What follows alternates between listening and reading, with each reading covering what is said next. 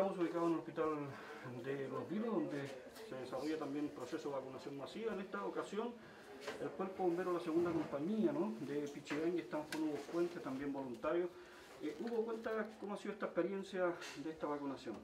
Bueno, es tremenda, ya que la pandemia ha afectado a tanta gente y para mi compañía, ya que somos los primeros en llegar ante una emergencia, es muy importante, es algo trascendente y ya que todos los bomberos de la comuna se han estado, se vacunaron, así que muy feliz, muy contento.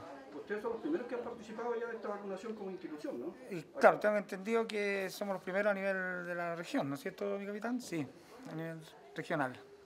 Y estamos también con el capitán, capitán Hola, buenas tardes. Soy capitán de la bomba Pichiangui, Francisco Cortés. Mm, eh, capitán, eh, bueno, eh, esta experiencia y quizás también el llamado a la confianza ¿no? sobre esta vacunación que hoy día se está realizando de forma masiva la población.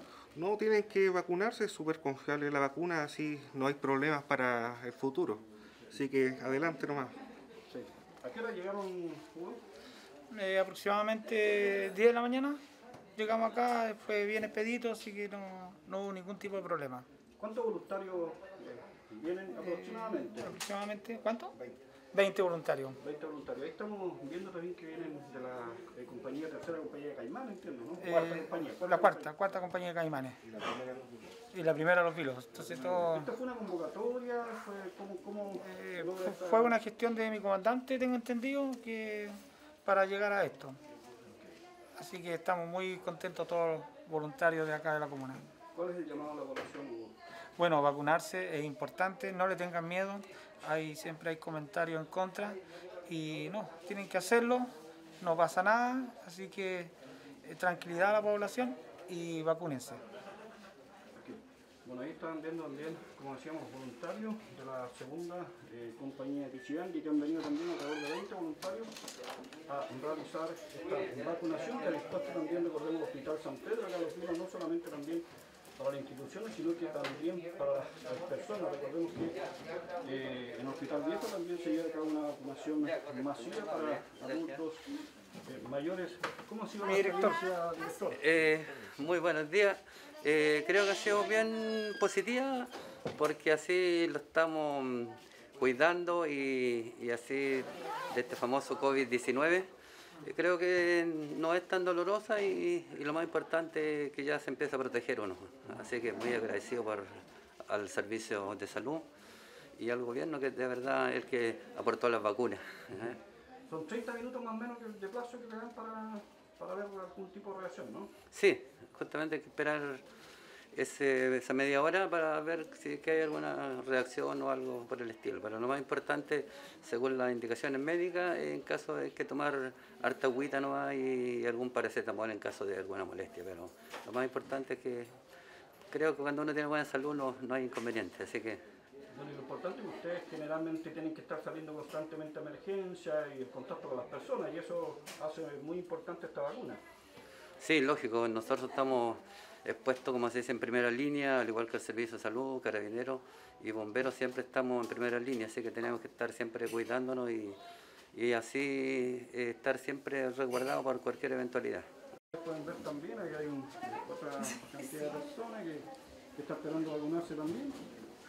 Hay de una forma usted verdad se está cumpliendo con esta eh, programa con este programa de vacunación. ¿De qué parte vienen ustedes, Eh, de Cernapesca. Cernapesca. Sí. ¿También vienen a vacunarse? Claro. ¿Qué le parece este programa?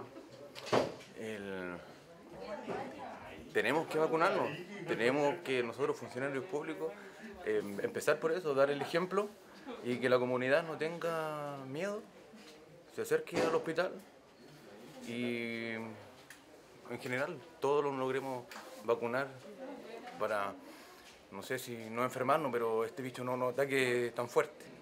Para protegerse fundamentalmente, ¿no? Claro que sí. sí. Qué bueno, gracias, gracias. Bueno, allá también como vemos, eh, están también la eh, cuarta compañía de Caimanes. Vamos a ver si podemos conversar también. ¿Cómo está? ¿Qué le parece esta vacunación? Muy bien, muy bien, porque la necesitamos todos, sobre todo los adultos mayores.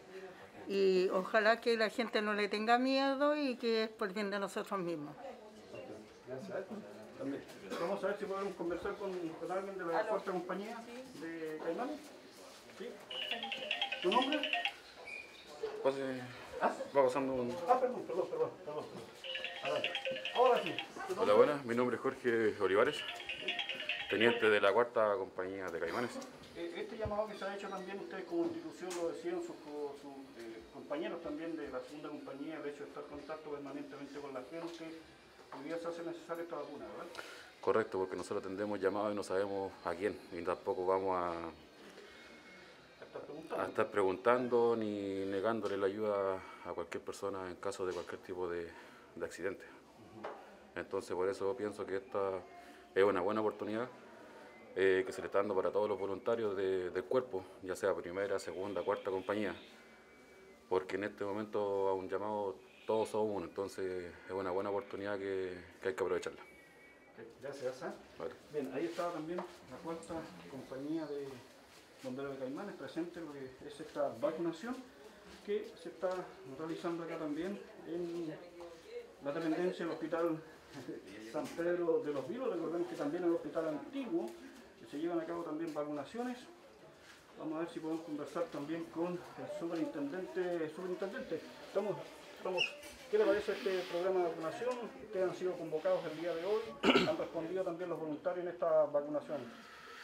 Eh, bueno, sí, muy agradecido. Queremos obviamente hacer pública los agradecimientos a nombre del Cuerpo Bombero de los Vilos al director del hospital, quien acogió nuestra solicitud, entendiendo, digamos, que todavía a nivel país estamos esperando un pronunciamiento por el gobierno para los bomberos de Chile.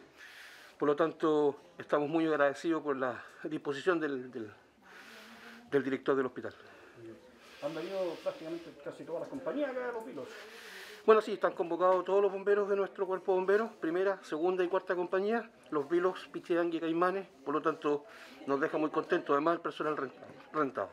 Gracias, superintendente. Ahí está Jaime Cortines, el superintendente del Cuerpo Bombero los Vilos, entonces, dando cuenta sobre esta vacunación, eh, donde han sido convocados también, a petición de ellos, lo ha dicho, ¿no es cierto?, los voluntarios de estas instituciones tan importantes que por lo general, por supuesto, están siempre en la primera línea en contacto con esta emergencia y como decía también uno de ellos, aquí al atender esta emergencia no se le pregunta, obviamente, si tienen un contagio o no. Así que es un riesgo y es por ello que han decidido también a venir, de dos, pacientes, de dos pacientes para que pasen más rápido, ¿ya?